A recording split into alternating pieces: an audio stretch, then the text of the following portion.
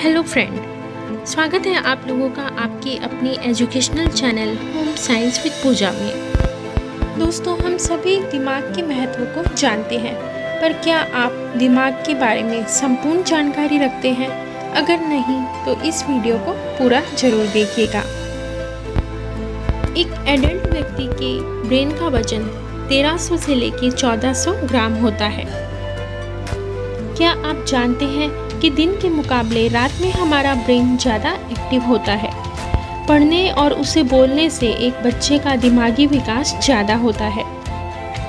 आपको ये जानकर आश्चर्य होगा कि आपके दिमाग में प्रतिदिन साठ हज़ार विचार आते हैं। एक ज़िंदा दिमाग बहुत ज़्यादा नर्म होता है और उसे चाकू से आसानी से काटा जा सकता है।